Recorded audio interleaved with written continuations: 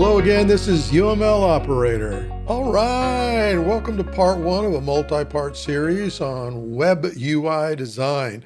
We're going to call it simple because this is a simple static site we're going to design and implement.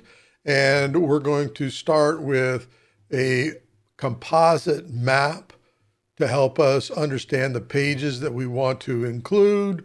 We'll get into wireframe design, uh, you know, from the home page to other sub pages that we'll be navigating to. From that, this will help us start to build the requirements for our project, for our implementation. And we're also going to get into building patterns based off of the website that we're going to be using. So whether you're using WordPress or Squarespace or Google, and in this case, we're going to be using Google, there are various tools, templates that they give us to help design and build our website. So let's get into it. The first thing we're going to do is build a package where we can start wireframing. And as you know in Sparx, we can move and manage these packages anytime that we want. So what we're doing in this particular case is we're building out the project structure with requirements, with wireframing, with mapping, and then eventually we'll get into building out patterns. So in this case, we're just adding some simple diagrams in here to get started as we roll into each one.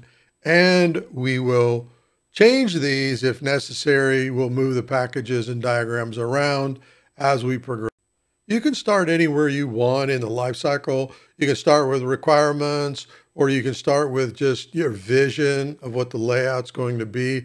In this case, we're starting with a vision of what we believe the pages that are necessary based on what we already know and how we want to particularly lay out the navigation of the site once we choose a site, tooling, or technology to start building on. Right now, we're just conceptualizing the pages and how they land within the website from the home page, how they move back.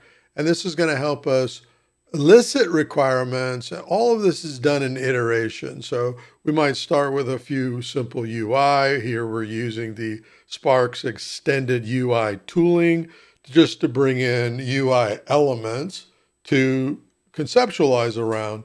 What we see right now is we're building out navigation using dependency, and it's a use stereotype. So we're stating as the home page is going to use navigation to get to these other pages as we're going forward. As we're doing this, we're thinking about navigation. We're thinking about how and what navigation tooling we're going to use to get to the various layers of our web content.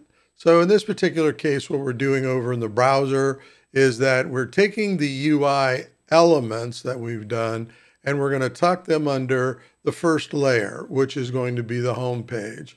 And then from there, what we're going to do is we're going to move other pages up under pages that might be in the second layer. And as we start thinking about deeper levels of content, we'll start to move the content up under the particular pages that they may fall under for navigation. And that'll make more sense in just a moment. This exercise helps us get to wireframing. And wireframing is using Sparx wireframing tooling where we can bring in a web page template and start building out the look and feel and the elements within the web page that will be under development. So what we're doing right now is we're bringing in an image, some text, we're bringing in a navigation element, we're going to be using this type of navigation, and we're going to use our mapping that we just did to help build out the navigation that will eventually lead the, to the user experience from the home page as well as other pages because we're going to use this type of navigation across all the pages in this site and this design. The navigation control element allows you to actually go inside and put the elements that you want, the pages that you want to show up within the navigation bar. So what you're seeing right now is we're using the mapping to help decide what we're going to put, what layers we're going to build as we're building out the website design, the UI design, and user experience.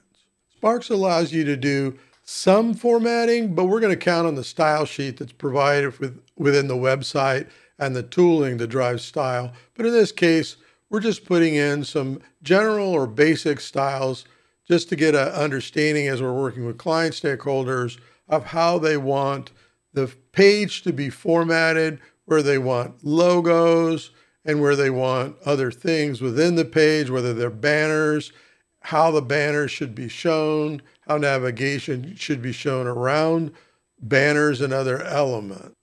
Now we're using agile methodology in this delivery implementation.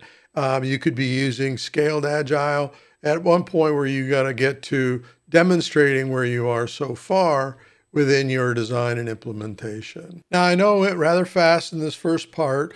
In the next parts, and there's going to be a few, I'm going to go a lot slower. I'm going to show you exactly how we built out the composite views, how we built out all of the wireframes and what those led to as far as each one of the pages. So wireframes into the homepage design, which we just did, into taking other pages and building those out using the tooling that's over in the toolbox to get an idea of how we want to block out each page as we're building what UI components we want to use on each page based on the views and viewpoints of the user that's in that particular topic.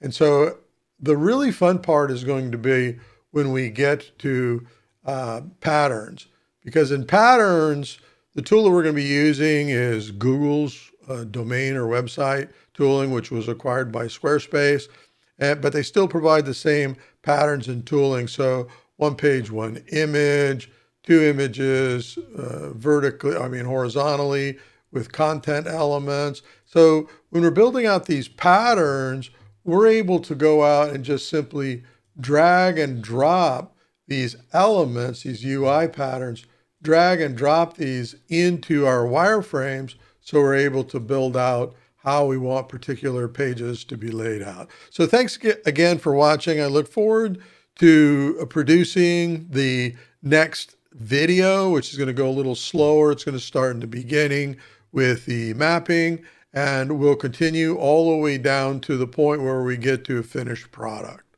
In this case, here's the finished product, uh, the website that we have out for UML operator. So you can see the navigation that we used here, allowing us to get to particular pages, same navigation bar you're going to see in the wireframes, gets us to the various subjects.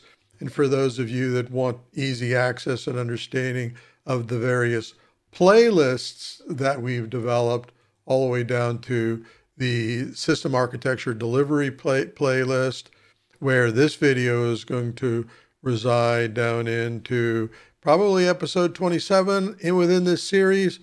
Still haven't made up my mind yet what we're going to do. So lots uh, more to talk about and look forward to your comments, good or bad. Let me know what your questions are, the challenges you have, what tooling you're using for your web design, your UI, user experience design. I've used quite a bit. Another one of my favorites is Axure Pro or RP.